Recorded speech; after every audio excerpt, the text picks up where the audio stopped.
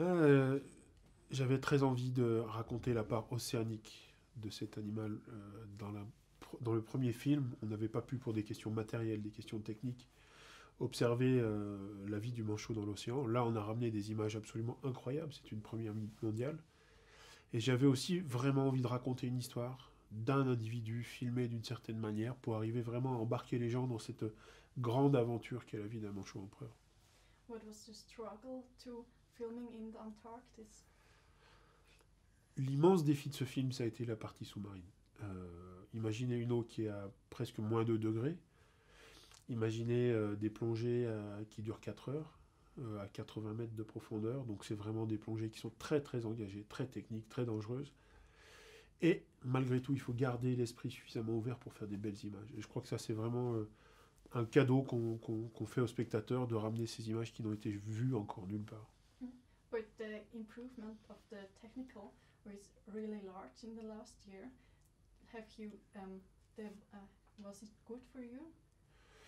Oui, c'est c'est vrai qu'on sent qu'il y a un saut technique énorme entre le premier film et celui-là, mais pour moi, la technique, c'est jamais euh, la part importante des choses. C'est finalement l'émotion que va véhiculer une image, et c'est vrai que là, cette image 4K ramène une précision dans les plumes, on a l'impression de pouvoir les toucher, on a l'impression d'être avec eux, et c'est finalement ça qui était important. Um, you spent more than three years um, in the Antarctic. How can we imagine life there? Je suis passionné de ça, c'est-à-dire que vivre dans ce pays aussi beau et aussi difficile, c'est pour moi vraiment une, une leçon de vie, c'est une école de vie. Je suis allé dans beaucoup d'endroits de l'Antarctique. C'est toujours difficile de se dire passionné de l'Antarctique parce que c'est à la fois un pays qui est très dur, qui est très isolé, où il n'y a pas d'autres gens. Mais je ne sais pas pourquoi j'aime ça, mais je suis sûr d'une chose, c'est que j'aime vraiment ça. And when that does the, when did the in, uh, fascination about penguins start in your life? Euh, C'était en 1991, j'étais euh, biologiste à l'époque, j'ai passé 14 mois euh, sur, ce, sur ce site. Et je pense qu'il n'y a pas, je connais pas une personne au monde qui voit les manchots empereurs sur la banquise et qui soit pas fasciné. Je crois que cet animal dégage un charisme, une beauté absolue et, il se passe instantanément quelque chose qui est de l'ordre de la. J'ose pas dire qu'on tombe amoureux, mais c'est pas loin. Quoi. In which way is the um, the looking of penguins different to the way that biologic um, filmmaker? Moi, je me sers de la science et de la connaissance pour raconter des histoires. Donc, tout mon cinéma est basé sur ce mélange entre la science et l'émotion, au fond. Et je crois que j'ai essayé d'aller encore plus loin avec ce film pour euh, finalement parler de la fascination qu'exerce cette espèce sur moi quand je suis quand je suis là, que je les vois et que je les vois si merveilleux, si incroyables. Je me dis mais comment font-ils quoi? It seems that the penguin their entire life a magical call. Do you think we also have this call in us?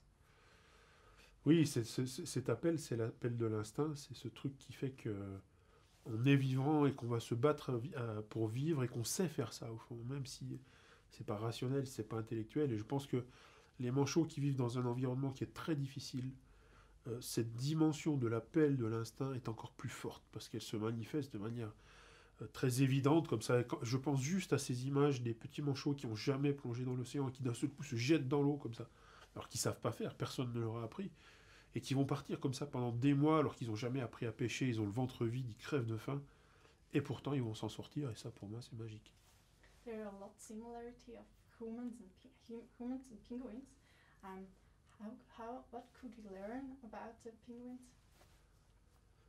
Je pense que les manchots résument de manière extrêmement euh, simple, cristalline, l'art d'être vivant, c'est-à-dire l'art de se battre chaque minute qui passe de sa vie pour rester vivant, se reproduire, donner une descendance et recommencer l'année d'après. Et les conditions autour d'eux sont tellement difficiles, ils sont tellement sur le fil que la moindre erreur, c'est une question de vie ou de mort. Et je crois que c'est cette métaphore-là qui est finalement intéressante pour le cinéma et pour les histoires que je raconte. Um, we talked last week um, with Al Gore about uh, global warming. Um, could you tell us how the, the climate um, changing uh, affects to the penguins and Antarctic? C'est euh, c'est en effet considérable. Le, le bouleversement climatique est en train de littéralement changer le cycle de la glace autour de l'Antarctique, en particulier cette glace de mer, c'est la mer qui gèle pendant l'hiver et dont les manchots empereurs sont très dépendants. Et comme ça change, comme vous avez tous entendu parler de ces icebergs géants qui bloquent l'accès, qui bloquent la route des manchots parfois, on a euh, maintenant, depuis quelques années, des mortalités absolument calamiteuses euh, dans des générations entières de manchots. Et on se dit que si on se projette comme ça dans l'avenir, c'est très très inquiétant. Et une chose aussi que je pourrais mentionner, c'est la pluie. Euh, moi, j'avais jamais vu la pluie en Antarctique et depuis quelques années, il pleut. Et cette simple goutte de pluie qui tombe sur le plumage d'un jeune manchot qui n'a pas un plumage imperméable, qui a un plumage qui est très chaud mais qui n'est pas imperméable, à partir du moment où la pluie tombe sur ce plumage, il n'est plus du tout euh, chaud, il n'est plus du tout isolant, et les manchots meurent littéralement de froid comme ça.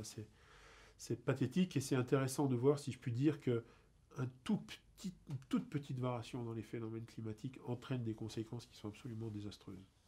Do you think it would help if the people would see the beautiful beauty of the nature?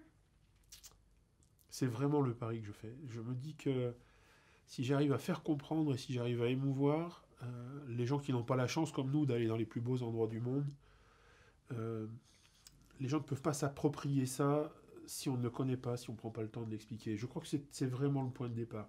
Cette émotion, pour moi, elle est fondamentale parce que on prend soin finalement que de, enfin, sur, sur quoi on, ce qui nous touche réellement. Et je trouve que le cinéma est un formidable outil, un formidable messager pour transmettre l'émotion et du coup se mettre en mouvement en disant mais oui ça je peux pas le laisser perdre c'est tel- tellement beau qu'il faut qu'on le protège Um, your first movie won an Oscar.